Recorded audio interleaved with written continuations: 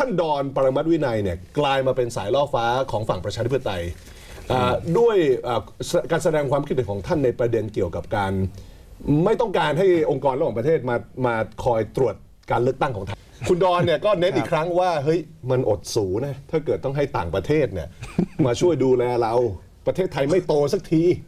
ตรวจสอบการเลือกตั้งเราตรวจสอบกันเองได้ มันเกี่ยวอะไรอะมันอดสูไง เวลาคุณแต่งงานนี่คุณอดสูไหมคุณจัดงานแต่งงานเนี่ย ไม่ฮะ มันเป็นเรื่องของคนสองคนแล้วคุณไปประกาศให้คนรู้ทำไม เวลาแต่งงานมันต้องมีสักขีพยาน อ๋อ เวลาคุณมอบอำนาจจากประชาชนไปให้ผู้แทนประชาชน คุณก็ต้องมีสักขีพยาน สักขีกาพรสังยานเกตเนี่กายรเลือกตั้งเนี่ยเป็นเรื่องที่ควรทำมันเป็นการคือการอ๋อเป็นเข้าใจละ การประกาศประเทศว่าฉันกำลังเป็นบ้านเมืองสีวิไลย์สักขีพยานมันทำให้มีความชอบธรรม ถูกมันฮะ ทำให้ทุกอย่างแบบเป็นได้รับการรองรับรับรอง คือผมว่าสำหรับผมในปัญหาของคุณดอนคือคุณดอนพูดเหมือนกับ ไม่รู้ว่าในอดีตเวลาเรามีการเลือกตั้งในการมีต่างประเทศมาสังเกตการณ์เนี่ยมันเป็นเรื่องที่เราก็ทำกันมาตลอด คุณคุณดอนไม่เข้าใจหรือเปล่าว่าสังเกตการเลือกตั้งกับจัดการเลือกตั้งมันคนละเรื่องคือนะคือมาสังเกตการเลือกตั้งมันทำให้เราเสียความเป็นเอกเอกเทศไหมหรือยังไงมันไม่สมัครัยบพลเอกสุรยุทธ์ที่มีการเลือกตั้งในปี 50 เนี่ย100ประเทศ เมื่อมาสังเกตการณ์เข้ามาสังเกตกาเอรอผมก็ไม่เข้าใจว่าคุณดอนคือคุณคุณดอนก็อายุ 60 กว่าก็น่าจะรู้ว่ารัฐมนตรีต่างประเทศคนอื่นเนี่ย เขาทำงานกันยังไง แล้วเฮ้ยแล้วมุมแต่มองว่าว่ามีต่างประเทศมาสังเกตการณ์มันไม่ใช่ถ้าปัญหานะถ้าคจะรับ ดีเฟนต์คุณดอนนิดหนึ่งผมกับมองว่าถ้าเกิดมาสังเกตการณ์นะแล้วถึงเวลาหน่วยคนที่มาสังเกตการณ์เขาบอกว่าเลือกตั้งเนี่ยมันไม่ฟรีและแฟร์เนี่ยคราวเนี้ยบิ๊กตู่จะเหนื่อย ไม่ใช่แต่ทำไมจะต้องไปคิดแบบนั้นนะครับ ก็ต้องมั่นใจว่าเราจะจัดการคุณเลือกตั้งให้มันเขาดีคิดสิเป็นห่วงรัฐบาลไง ถ้า100ประเทศมาเออเนี่ยนะแล้วเขาบอกไม่ฟรีไม่แฟร์ทั้งร้อยประเทศก็ถูกแล้วอะก็นี่ไงเขาเขาถึงไม่ให้มาไงคุณชูวัฒน์ แต่วัถ้าเกิดคุณพูดเท็จ คุณสังเกตการณ์แล้วคุณมีอคติต่อประเทศไทยประเทศอื่นเขาก็ต้องค้านใช่ใช่คุณแต่แต่ว่าถ้าเกิดมาแล้วถึงเวลาเขาบอกว่าไม่ฟรีและแฟร์นะ แล้วบิ๊กตู่เป็นนายกต่อเนี่ย มันก็เละนะฮะ แผนก็พังดีฮะ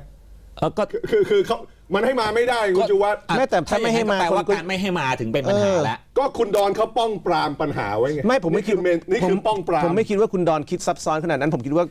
คุณดอนคือคุณดอนเหมือนนักการเมืองมากทุกวันนี้ไม่เพราะว่าคืออย่างนี้เขาแค่บอกว่าไม่ต้องการให้ฝรั่งมาจุ้น มันอย่าเอาฝรั่งมาเดี๋ยวก่อนจุ้คำว่าต่างชาติสังเกตการณ์ไม่ใช่เป็นจำเป็นต้องเป็นฝรั่งนี่ที่ครับผมเรียนภาษาจากแนวหน้าและเป็นไทยโพสต์เป็นนะเป็นมาเลเซียก็ได้เป็นฟิลิปปินส์เป็นอินโดนีเซีย เป็นลาวเป็นพม่าเป็นเขมรก็ได้ทำไมจะต้องมีมุมมองว่าต่างชาติมาสังเกตการณ์แปลว่าฝรั่งจะมาจัดการเลือกตั้งให้คนไทยเอ๊ะมันมันชาตินิยมหลงยุคบิดประเด็นหรือเปล่าเฮ้ยไม่ไม่ความเป็นชาตินิยมเป็นสิ่งที่ดี แต่ว่าต้องไม่หลเข้างใจยุคด้วยแต่แต่ว่าเคสนี้มันไม่ใช่เรื่องชาตินิยมคืออ่ามันไม่ต้องนิยมขนาดนั้นคือสังเกตการเลือกตั้งกับจัดเลือกตั้งคนละเรื่องต้องเอาประเด็นนี้ให้ชัดก่อนคือคือคือคุณดอนเนี่ยประเมินประเมินประเทศไทยต่างกับ คนอื่นๆ คุณดอนอาจจะอยู่ในโลกที่ว่าประเทศไทยมันเป็น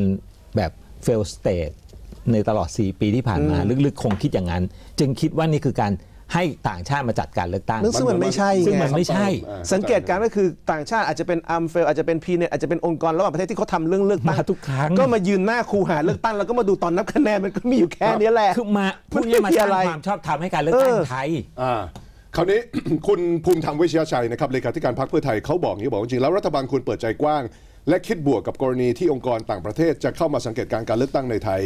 ถือว่าเป็นเรื่องปกติที่ประเทศประชาธิปไตยก็ทำกัน ถ้ารัฐบาลบริสุทธิ์ใจก็ไม่ควรที่จะหวาดกลัวเรื่องการเข้ามาสังเกตการณ์ในครั้งนี้ ต้องยอมรับว่าขณะนี้หลายชาตินั้นขาดความมั่นใจในไทยนะฮะแล้วก็ไม่เชื่อใจเรื่องการเลือกตั้งเนื่องจากเรามีรัฐบาลที่มีอำนาจเบ็ดเสร็จ คุณภูมิธรรมเขาบอกว่าดังนั้นการเปิดให้องค์กรต่างชาติได้เข้ามาร่วมสังเกตการณ์เนี่ยเป็นผลดีต่อรัฐบาลและประเทศชาติทำได้ คุณภูมิธรรมเขาก็พูดชัดเรื่องนี้ มันไม่ควรจะเป็นปัญหาหรอกเพราะที่ผ่านมาก็ทำกันมาตลอดใช่ไหมทีนี้อาจจะเป็นเรื่องคุณดอนไป comment คำว่าต่างชาติมากเกินไปอย่างนั้นหรือเปล่า แต่เป็นรัฐมนตรีต่างประเทศเนี่ยแหละเออก็นั่นไม่ก็ก็ถึงแกก็ถึงบอกไงว่าแกแกรู้จักต่างชาติเยอะ เพราะฉะนั้นไม่ต้องห่วงความเป็นอินเตอร์ของเรามี